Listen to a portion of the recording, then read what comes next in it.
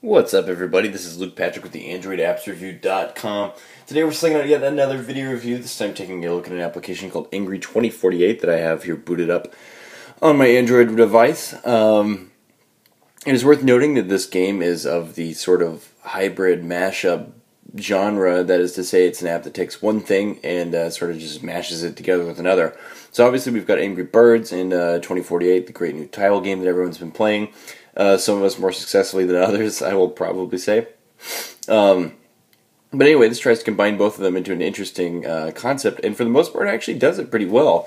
Um, when it comes to these titles, we usually don't think much of them uh, just because they, uh, you know, obviously you're taking elements from other games, and uh, more than more often than not, those things don't really mash up. But in this case, it actually works pretty well. The basic concept is that you're trying to aim for specific numbers, and hopefully I can do this. There we go.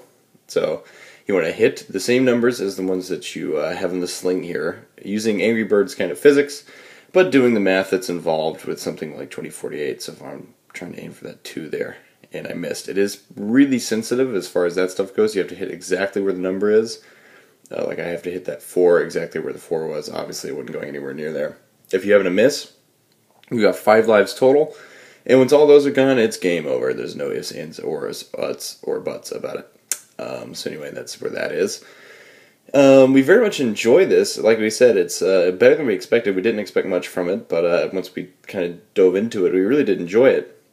Um, furthermore, it's nice that it comes with a free price tag that helps a lot because um, obviously you can play it for free and see what you think of it.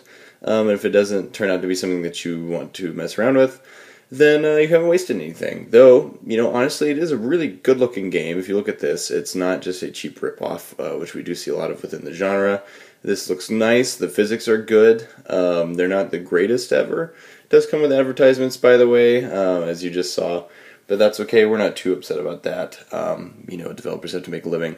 So, um, but the graphics are decent. The back uh, is probably the best part of this. Um, there's a few areas where we might change this, and it's kind of clear that this wasn't made by the same people that made Angry Birds. Um, 2048 was made just by a dude um, doing his own thing, actually. But um, either way, it's kind of uh, clear that this needs a little more polish. But then again, you know what doesn't? And uh, for the price, it's it's easily worth your time to invest in. And of course, it is quite fun to try to see how high you can get um, so with all that in mind, we are going to give it a 3.5 out of 5 star rating, and that is all I have to say about it. So at this point, I'm going to go ahead and sign out. This has been Angry 2048, and that's all we have to say. All right, bye.